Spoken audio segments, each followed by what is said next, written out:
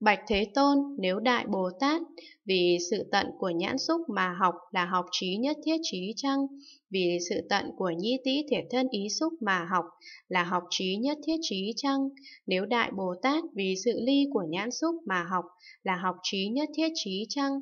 Vì sự ly của nhĩ tĩ thể thân ý xúc mà học là học trí nhất thiết trí chăng? Nếu Đại Bồ Tát vì sự diệt của nhãn xúc mà học, là học trí nhất thiết trí chăng?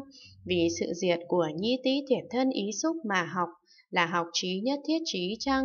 Nếu Đại Bồ Tát vì sự vô sanh của nhãn xúc mà học, là học trí nhất thiết trí chăng? Vì sự vô sanh của nhi tĩ thể thân ý xúc mà học, là học trí nhất thiết trí chăng? Nếu Đại Bồ Tát vì sự vô diệt của nhãn xúc mà học, là học trí nhất thiết trí chăng?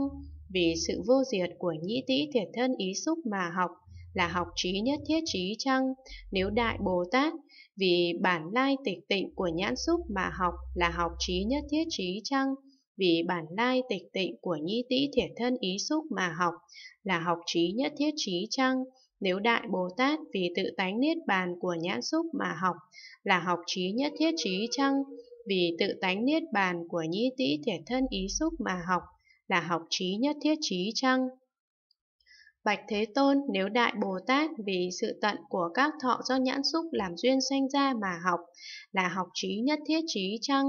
Vì sự tận của các thọ do nhĩ tĩ thể thân ý xúc làm duyên sanh ra mà học, là học trí nhất thiết trí chăng? Nếu Đại Bồ Tát vì sự ly của các thọ do nhãn xúc làm duyên sanh ra mà học, là học trí nhất thiết trí chăng? Vì sự ly của các thọ do nhĩ tĩ thiệt thân ý xúc làm duyên sanh ra mà học là học trí nhất thiết trí chăng? Nếu Đại Bồ Tát vì sự diệt của các thọ do nhãn xúc làm duyên sanh ra mà học là học trí nhất thiết trí chăng? Vì sự diệt của các thọ do nhĩ tĩ thiệt thân ý xúc làm duyên sanh ra mà học là học trí nhất thiết trí chăng? Nếu Đại Bồ Tát vì sự vô sanh của các thọ do nhãn xúc làm duyên sanh ra mà học là học trí nhất thiết trí chăng?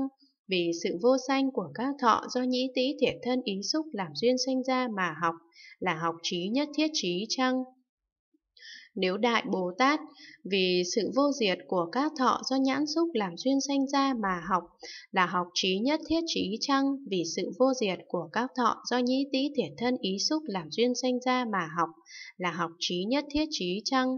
Nếu Đại Bồ Tát vì bản lai tịch tịnh của các thọ do nhãn xúc làm duyên sanh ra mà học, là học trí nhất thiết trí chăng?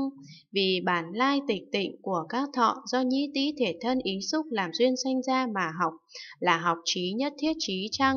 Nếu Đại Bồ Tát vì tự tánh niết bàn của các thọ do nhãn xúc làm duyên sanh ra mà học, là học trí nhất thiết trí chăng? Vì tự tánh niết bàn của các thọ do nhĩ tĩ thể thân ý xúc làm duyên sanh ra mà học, là học trí nhất thiết trí chăng?